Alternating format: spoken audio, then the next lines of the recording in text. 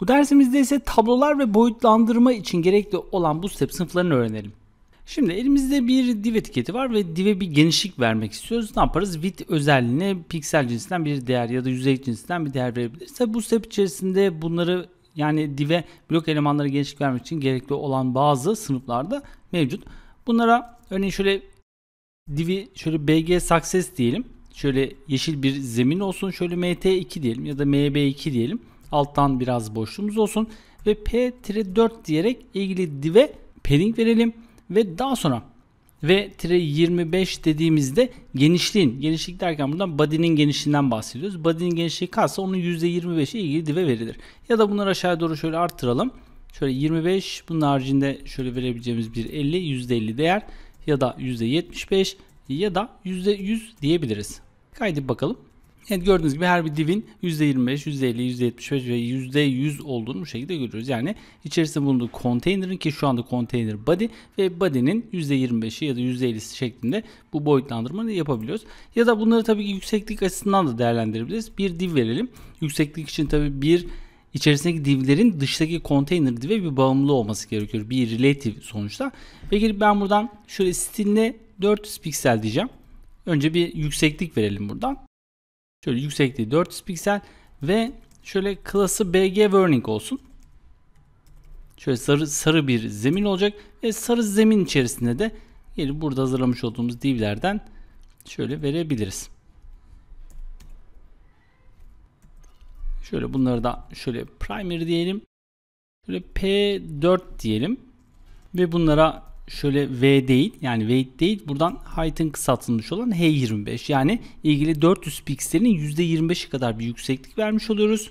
Ancak divler başlangıçta sonuçta aşağı doğru birkaç tane div ekleyeceğiz ve bu divlerin her bir tanesi blok olduğu için alt alta gelecektir. Ancak biz bunları yayına gelmesini istiyoruz. Dolayısıyla bu step içerisinde kullanacak olduğumuz hatırlarsınız D inline blok isminde bir display sınıfı vardı. Bu ilgili div'i inline blok yapacak. Peki gelip inline blok yapalım ve inline blok neden yapıyoruz? Bunları genişlik ve yükseklik vermek için. Peki bunlardan şöyle bir tane daha alalım. Ve buradan şöyle %50 şöyle %75 ve şöyle %100 diyelim. Kaydet bakalım. Evet baktığımızda gördüğünüz gibi 400 piksel yüksekliğin %25'i, 50'si, 75'i ve %100'ü şeklinde bu yükseklikleri kolaylıkla verebiliyoruz.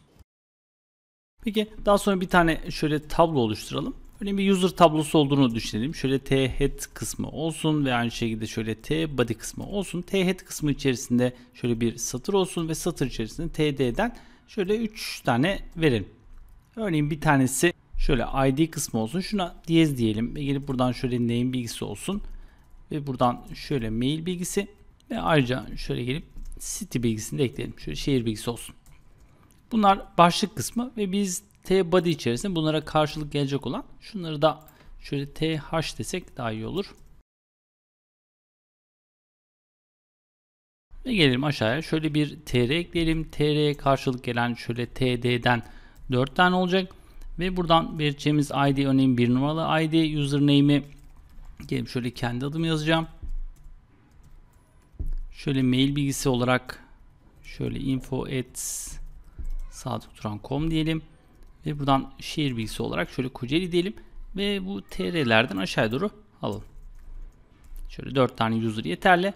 Şöyle 2 buradan şöyle Çınar Turan diyelim. Buradan şöyle Çınar Turan gmail.com buradan Kocaeli diyelim. Buradan şöyle 2 buradan şöyle Ahmet Turan diyelim. Buradan da şöyle Hasan Demir diyelim. Buradan da Şöyle hasandemir.com şehir bilgisi kalsın. Peki bu haliyle uygulamaya bakarsak eğer bir tane tablomuz var ve tabloda herhangi bir gördüğünüz gibi padding ya da border bilgisi yok. Biz gelip burada bu strip class'larını kullanarak burada tek yapmamız gereken table'a gelip şöyle bir class diyerek şöyle table demek. Bunu dediğimizde ve sayfaya baktığımızda gördüğünüz gibi tablomuz oldukça güzel bir hale geliyor. Şuralardan da biraz yükseklik şöyle aralara BR ekleyelim. BR2 diyelim. Arada biraz boşluk kalsın. Ve buradan şöyle 1, 2, 3 şurayı da 4 diyelim. Ve gelip bu tabloyu aşağı doğru kopyalayalım ve tablonun farklı varyasyonlarına bakalım şöyle. Örneğin table'a gelip tablo seviyesinde bir renklendirme verebiliriz. Örneğin table primary dediğimizde ve sayfaya baktığımızda gördüğünüz gibi mavi bir tabloya sahip oluyoruz. Ya da gelip bunun yerine şöyle success dersek bu durumda baktığımızda bakın yeşil tona gelen bir tablo karşımıza geliyor. Ya da dediğimiz gibi bunları örneğin tablo seviyesinde değil de gelip satır seviyesinde yapabiliriz. Yani tablo için bu şekilde bir kullanım olmasın ancak gelip ben örneğin başlık kısmına şöyle klasına şöyle table secondary diyebilirim. Bunu dediğim zaman ve baktığım zaman şöyle gördüğünüz gibi sadece üst başlık kısmı bu şekilde zemin rengi alır ya da herhangi bir tane tabloya tablo satırına gelip buradan class'a gelerek şöyle table eğer success dersem ve gelip tabloya bakarsam bu durumda bakın ikinci satırı bu şekilde yeşil olarak boyayabiliriz. Ya da herhangi bir hücre içinde bunu yapabiliriz. Örneğin gelip buradan mail adresi kısmını şöyle class diyerek şöyle table tire danger diyebiliriz. Bunu dediğimizde ve gelip buradan baktığımızda gördüğünüz gibi ilgili hücre bu, bu sefer boyanmış olur. Peki bunların haricinde gelip şuradan tekrar şöyle bir tabloyu aşağıya doğru kopyalayalım. Ve burada tablomuz şöyle success olsun. Ve ayrıca şöyle table strip diyelim. Bu durumda tabloya bakarsak eğer yeşil bir tablo gelecek ancak gördüğünüz gibi her bir satır burada renkleri farklı. Yani yeşile göre daha koyu bir yeşil karşımıza geliyor. Ya da tablonun rengi eğer farklıysa eğer success değil de buradan gelip öyle bir primary dersek primary, primary'e göre gördüğünüz gibi tonu farklı olan bir renk her satırı bu şekilde işaretler.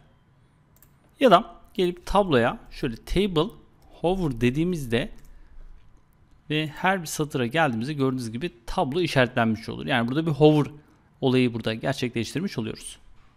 Peki tabloya bir border vermek istersek gelelim aşağıya doğru biraz evvel kopyalamış olduğumuz tabloyu tekrar ekleyelim ve buradan şöyle table success dedik ve buradan da şöyle table border klasını ekleyebiliriz. Bunu eklediğimizde ve gelip tabloya baktığımızda gördüğünüz gibi tablonun borderları her bir hücre her bir satır gördüğünüz gibi bir border'a sahip olur.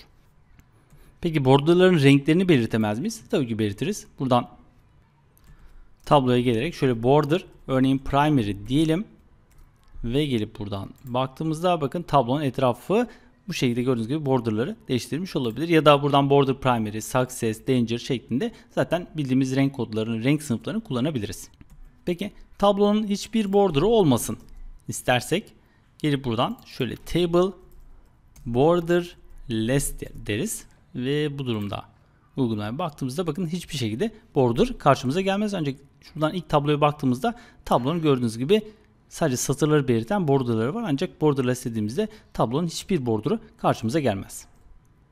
Peki eğer ki tablomuz biraz da padding değerleri düşük olsun istiyorsak gelip bu durumda şöyle table sm dersek eğer paddingleri düşürülmüş şekilde karşımıza gelir. Baktığımızda gördüğünüz gibi yukarıdakine göre paddingleri daha düşürülmüş bir tablo olur. Peki gelip tabloyu küçülttüğümüzde gelip şöyle satırı eğer daraltırsak e, daralttığımızda gördüğünüz gibi hücreler eğer içerikler hücreleri sığmazsa bu şekilde görüntümüz bozulabilir. Ancak biz tabii ki bu ekranı küçülttüğümüzde ki sadece 3 tane kolon değil örneğin 30 tane kolon olabilir. Bu durumda bunu responsif olarak hazırlıyor olmamız gerekiyor.